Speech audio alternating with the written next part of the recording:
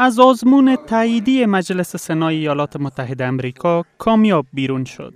جنرال جان مک نیکلسون در ماه مارچ همسال مأموریتش را در پست فرماندهی کل نیروی خارجی در افغانستان آغاز خواهد کرد. مأموریت که اکنون از سوی جنرال جان کمبل به پیش برده می شود و این او را گاه به چالش هم می کشد. جنرال کمبل باید شمار نظامیان امریکایی را در افغانستان کاهش بدهد. و هم دیدگاه رئیس کمیته تسلیحاتی سنای ایالات متحده امریکا در این باره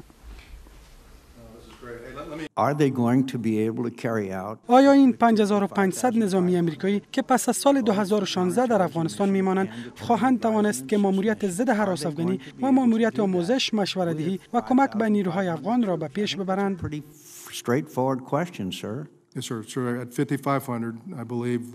آقا 5500 نظامی از دید من تنها قادر خواهند بود تا به گونه بسیار محدود ماموریت آموزش، مشورتدهی و کمک به نیروهای افغان و نیز ماموریت ضد حراس افغانی را انجام بدهند. بار دیگر می خواهم بپرسم که این نیروها می توانند این دو ماموریت را به گونه درست به پیش ببرند.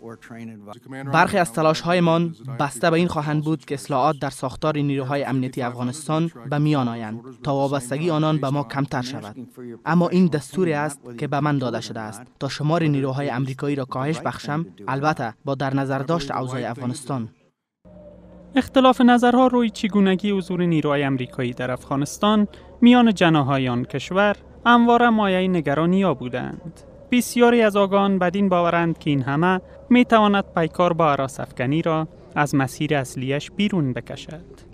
اگر تعداد نیروهای در افغانستان هر قدر کاهش پیدا بکنه یقینا مورال مخالفین بالا میره کمک ها هم سطحش پایین میره و از طرف دیگه نیروهای امنیتی افغانستان هم به حمایه هوایی زرعی توپچی راکتی ضرورت دارند 2015 سال پر از ماجرای برای پیکار با افغانی در افغانستان بوده است. چون این پنداشته می شود که امسال هم رویدادهای گذشته تکرار شوند. از همین رو آگاهان تاکید میورزند که جامعه جهانی باید برای پرداختن هرچی بیشتر به این مأموریت و نیز تجهیز کامل نیروهای امنیتی افغانستان بکوشد.